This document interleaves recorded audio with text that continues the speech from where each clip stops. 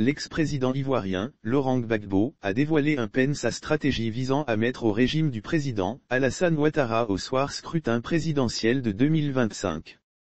L'ex-président ivoirien, Laurent Gbagbo, semble avoir sa petite idée visant un changement démocratique à la tête de l'État ivoirien, au soir de la prochaine élection présidentielle.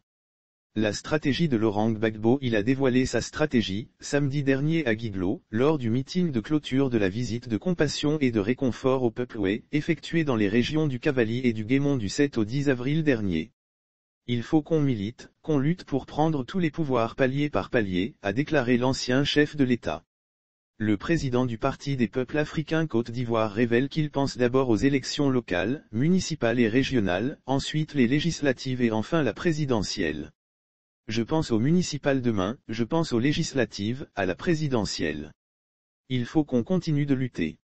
Mais pas le pouvoir pour le pouvoir. Le pouvoir pour faire quelque chose pour notre pays, a clarifié l'époux de Nedi Bamba. Alliance avec le PDCIRDA dans cette quête, l'ancien chef de l'État ivoirien, revenu d'exil le 17 juin dernier, veut compter sur la collaboration avec son ex-adversaire et désormais allié Henri Conan Bédier, président du Parti démocratique de Côte d'Ivoire. Il y a d'autres points sur lesquels on peut s'entendre et avancer.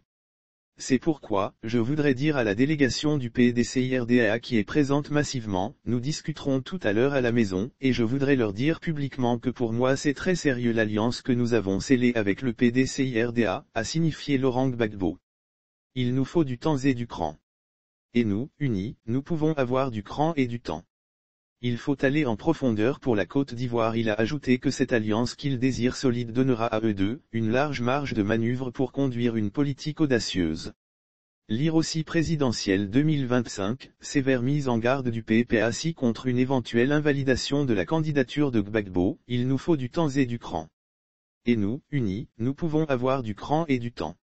Il faut aller en profondeur pour la Côte d'Ivoire. Chers amis du PDCIRDA, vous qui êtes venus nous rencontrer ici, c'est ce que je vous demande de dire au président Bédier, a-t-il confié à la délégation du PDCIRDA présente au meeting de Guiglo. Il y a beaucoup de choses qui vont mal. Pour les redresser, il faut du courage et du temps. Pour avoir du temps, il faut une alliance solide, a-t-il insisté.